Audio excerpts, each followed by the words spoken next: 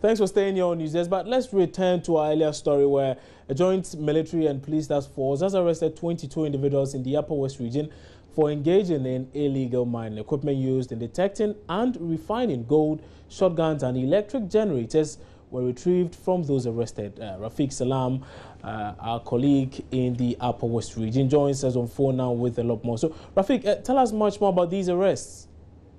Um, you know, uh, uh, I earlier reported that there were 22 uh, people, suspected illegal miners mm. that were arrested. But the latest is that nine other people have been arrested at different locations. You know, there are about four communities in this enclave uh, located in the eastern corridor of the Wa West district. We have the communities like Pule, Punyantanga, Tanagana, and then also Gweleyiri. And so the first operation that was done by the joint military and police had 22 people arrested, and then also several valuable assets also taken to them they have taken their refinery, they have taken their metal, uh, their gold detectors, motorbikes, and also shotguns were also retrieved during the exercise. And so the following day, that was yesterday, and then they went and arrested nine other people at uh, Puyentanga.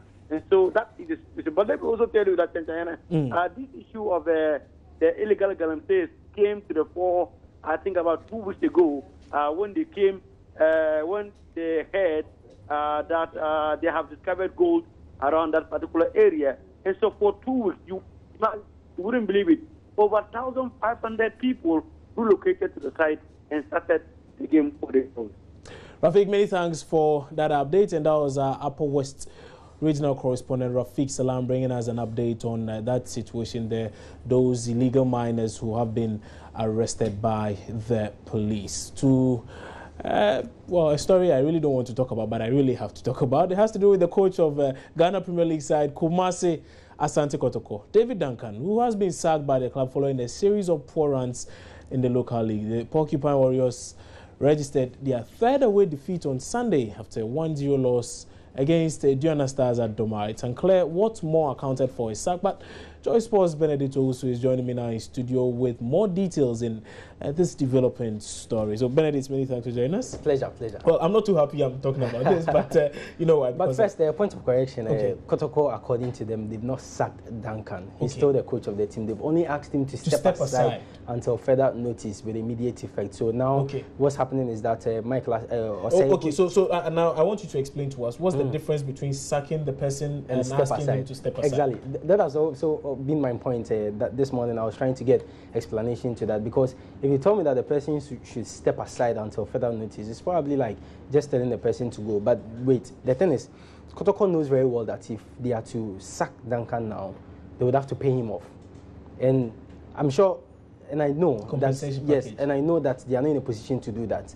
So probably the best thing they can do is that okay, just step aside uh, if you are frustrated and you're, you turn in your resignation letter, then you go without them paying you anything. So what they are trying to say now is that you step aside, we'll still pay you your monthly salary, but you're not going to work with the team. So it's an indirect way of sacking him. Sacking a person, and that's what they've always been doing. Because I remember very well the last time Didi Dramani, uh, he was manager of the team. They did something like that to him as well. They asked him to step aside until further notice. Didi Dramani went and he never came back. So obviously, this means that for us they've sacked him. But according to Kotoko and the statement they brought out, they say they've asked him to step aside. Let, us let's look at uh, David Duncan mm. and how he's fared over the period. Whether or not it's even fair to give him the axe at this time.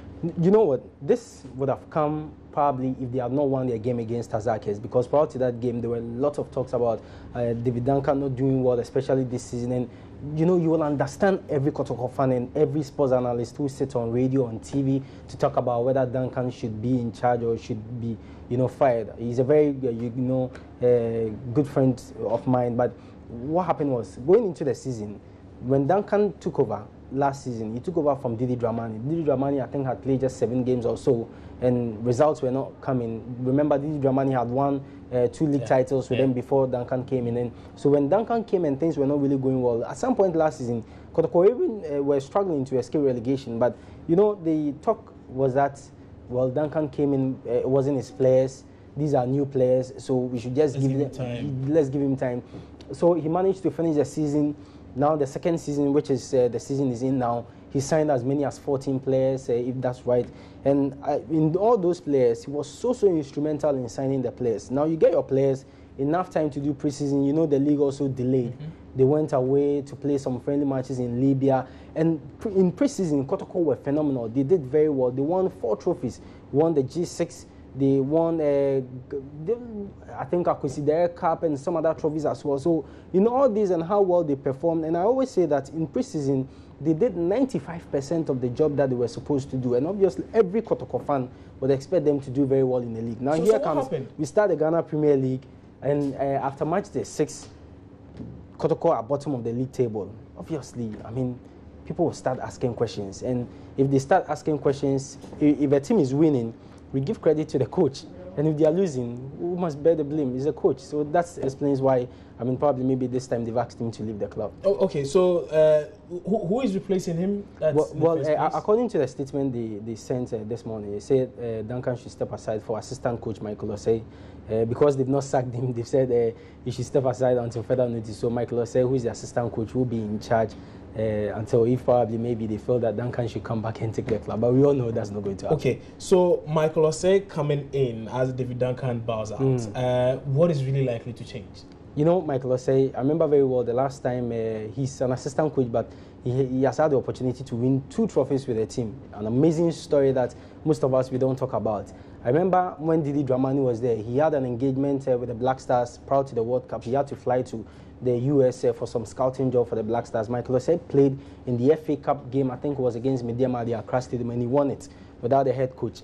And in this Duncan era, Duncan, the G6 tournament, Duncan took a different team to Libya. Michael Osei played in the finals of the G6 tournament and he won it as well. So, I mean, they believe that uh, Michael Osei, having been at the club under Didi Dramani and also Duncan, probably he's learned a lot and that, you know, he can take them through uh, the rest of the season. But I, have I've been hearing that uh, there is a white man in town in Kumasi, so probably maybe he will take charge Wait, of the team. There's a white man in town. Yes, uh, so Michael Osei is going to be a caretaker coach for now. Yes, yes, something like that, caretaker coach. But I hear there is a white man in town. Is he also from Japan? No, this one is not from Japan. no, this one no, I hear is from no, I hear he's from Germany. And from Germany. Yeah, he's from Germany. Former uh, coach of Ivory, uh, Cameroon.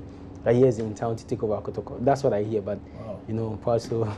So uh, if, if you're a Kotoko fan, I, I, I am a Kotoko fan, and I must oh, say I've, I've not been too enthused about quite a number mm. of things, and it, it, not, it, it's not limited to just Kumasi Asante mm. Kotoko. In fact, the local league as a whole, I've not really over the past two years or so, I've not really. No, but I think this time mm. things have changed. You see how it, appears yeah, things, are things have changed. The train had to fog yesterday at the Accra Stadium. What's amazing? Almost 85 percent of you know the uh, stadium was filled to capacity. Mm. We didn't even get that, that attendance when the Black Stars played against Mozambique.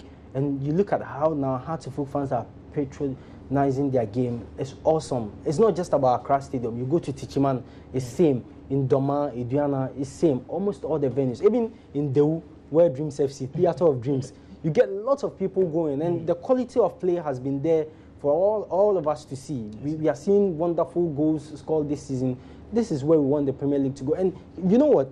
Even on Twitter, on normal days when Manchester United, Everton are playing, or even Manchester United City are playing, Ghana Premier League is trending, trending on Twitter. Yeah, yesterday I saw, I saw yeah. it was really trending. You see, and, and so speaking of uh, Accra as they, they uh, lost yesterday. Yes, they the lost, first defeat of the season, right? Their first defeat ah, of the season. Wow, starts again. Yes, but yesterday, uh, had going into that game. There were allegations that uh, the referee, you know, was going to favour uh, uh, Wow Did Stars. that happen?